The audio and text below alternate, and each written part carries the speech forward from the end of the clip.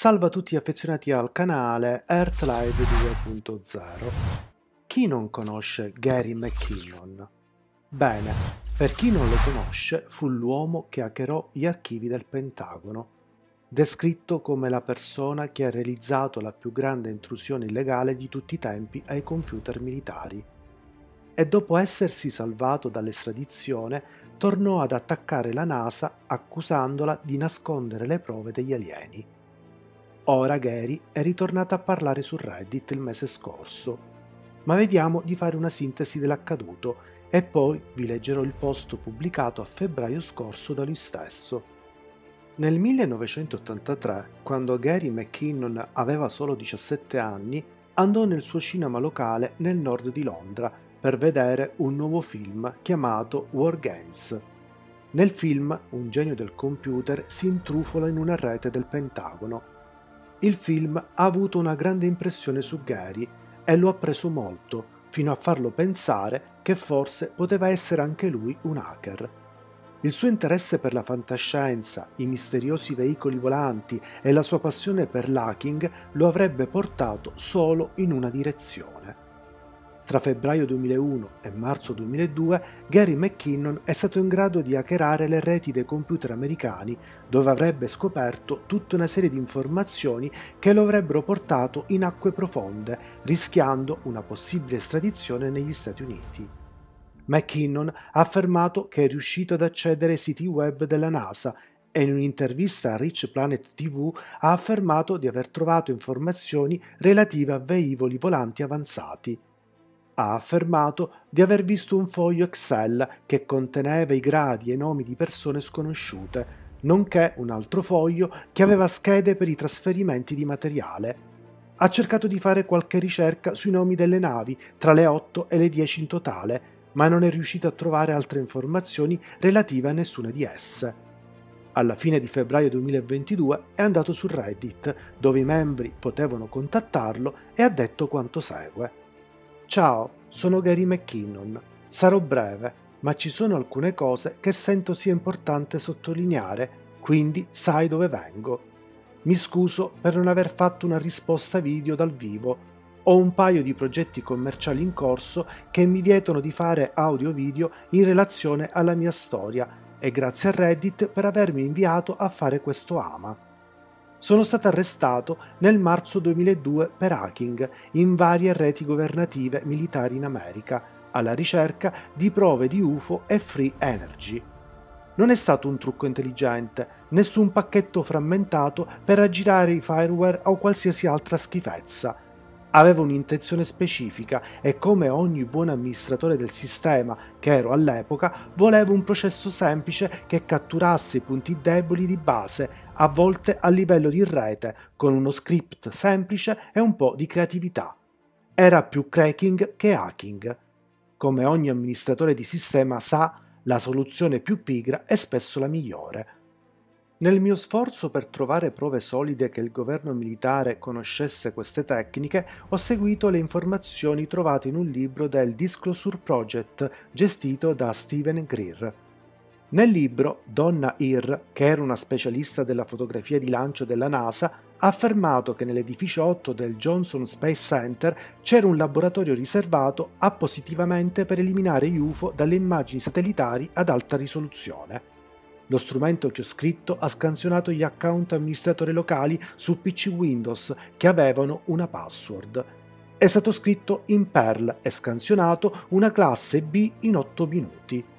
La bassa latenza era dovuta al fatto che eseguo la scansione su una macchina già compromessa sulla stessa o su un'altra rete militare governativa. Ho trovato l'edificio 8 leggendo le sezioni dei commenti dei PC tramite la console di comando questi campi sono usati per l'auditing e fortunatamente la NASA li ha riempiti tutti, quindi sapevo quali PC erano nell'edificio 8. Non c'erano molte macchine nell'edificio 8, ma una delle prime che ho guardato aveva cartelle chiamate grezze ed elaborate o grezze e pulite o filtrate. Le immagini avevano una media di circa 250 MB, e avrebbero impiegato molto tempo, a 5 minuti per megabyte su un modem da 56k, Quindi, avendo il controllo remoto del PC tramite un programma chiamato Remotely Anywhere, ho deciso di visualizzarlo dal vivo sul desktop, il che era rischioso dato che lavorano in orari strani alla NASA. L'immagine stava scendendo molto lentamente tramite il programma basato su Java, quindi ho tagliato il colore a 4 byte, 16 colori sfumature, e la risoluzione più bassa che era 640x480, penso potrebbe anche essere 320x240. L'immagine riempì lentamente lo schema e potei vedere l'oscurità, sovrapposta alla quale c'era un pianeta blu-bianco e sovrapposta a quella c'era una forma tubolare che era di un bianco metallico e aveva delle cupole attorno alla sua circonferenza centrale e alle sue estremità.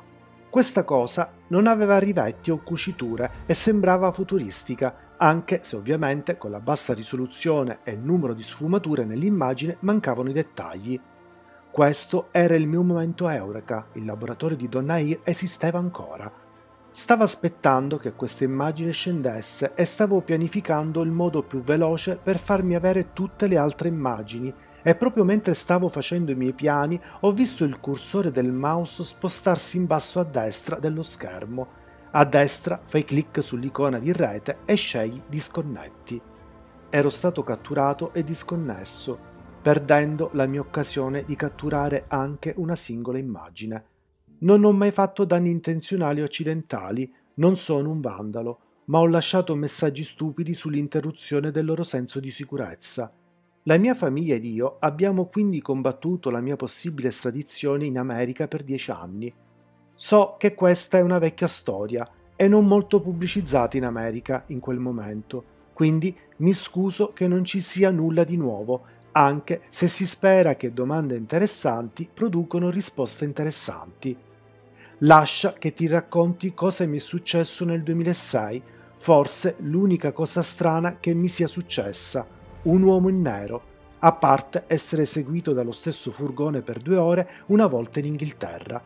All'epoca vivevo in un monolocale, essendo disoccupato a causa del mio caso in corso, che è una stanza in una casa condivisa. Ero al primo piano, un piano se sei americano. La mia signora ed io eravamo andati a letto sul mio divano pieghevole. Penso che ci fossimo addormentati intorno a mezzanotte. Mi sono svegliato da un sonno molto profondo, quindi penso che dovessero essere circa le due o le tre del mattino. Sono stato svegliato da un dolore molto acuto al tallone sinistro, così acuto che mi sono svegliato di soprassalto e ho allungato la mano fino al piede per vedere cos'era Dopodiché sono stato forzato a dormire di nuovo e stato comandare in anestesia generale. Così sono passato allo sciocco doloroso al sonno istantaneo. La mattina la prima cosa a cui ho pensato è stato il dolore al tallone.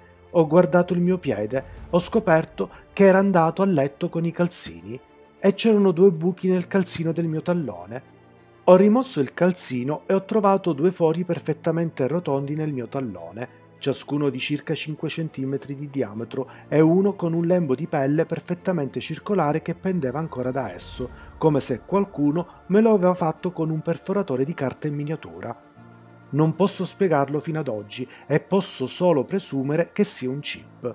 Ho usato dei misuratori di campo su di esso, ho avuto un magnetometro super sensibile che non mostrava altro che due grumi cresciuti sul tallone. La storia di Gary McKinnor ha dell'incredibile, anche se non ci sono state mai delle prove concrete su quello che ha visto. Voi cosa ne pensate di Gary McKinnor? Io vi ringrazio per l'attenzione, vi invito a iscrivervi al canale e noi ci sentiamo alla prossima.